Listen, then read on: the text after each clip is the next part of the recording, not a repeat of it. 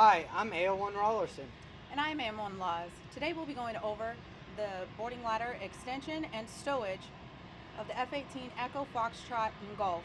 We will also be covering some of the common mistakes made here in the fleet. For both aircrew and maintainers, the boarding ladder is essential in accessing the top of the aircraft.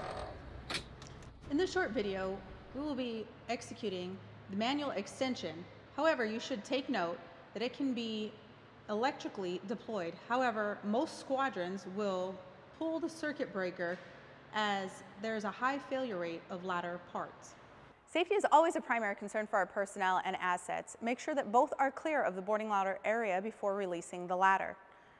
Never attempt to stow or release the ladder while the port engine is in operation.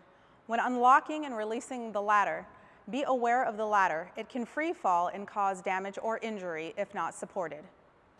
Once the area directly below the boarding ladder is clear and you've ensured that the engine is off, release the ladder using the release stow assist latch.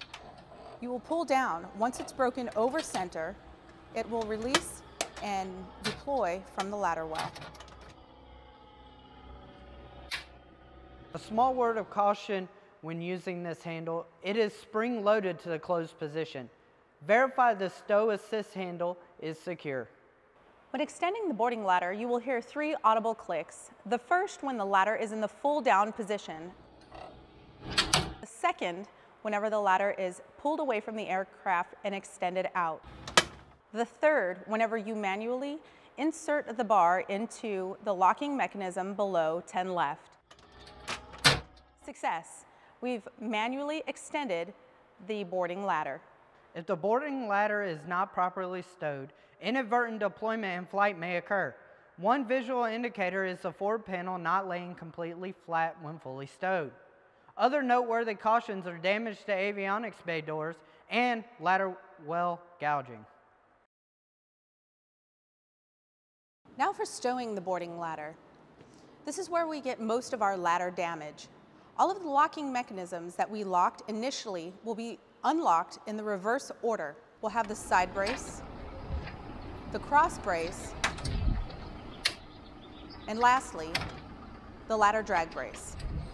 As previously mentioned, our stow assist handle is spring loaded. Use this feature to your advantage. With little effort, it will snap into place, locking the ladder into the well.